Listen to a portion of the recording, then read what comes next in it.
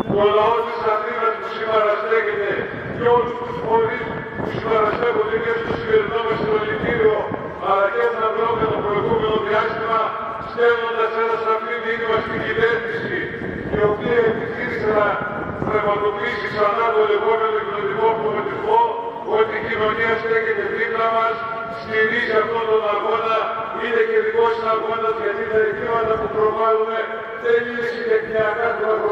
των τρόπων, αφορούν όλο τον ελληνικό λαό, καθώς η ακρίβεια μας αγγίζει όλους, μας αγγίζει το δικαίωμά μας στη ζωή,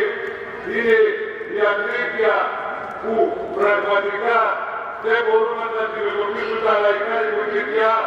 όλοι φωκάνε, όλοι διαμαρτύρονται, όμως αυτή η διαμαρτυρία πρέπει να γίνει συνειδητή συμμετοχή στους αγώνες, γιατί το λέμε και το επαναλαμβάνουμε και πρέπει να μας γίνει πλήρωμα ότι μόνο ο λαός, μόνο εμείς μπορούμε να σώσουμε τον εαυτό μας και μην περιμένουμε τίποτα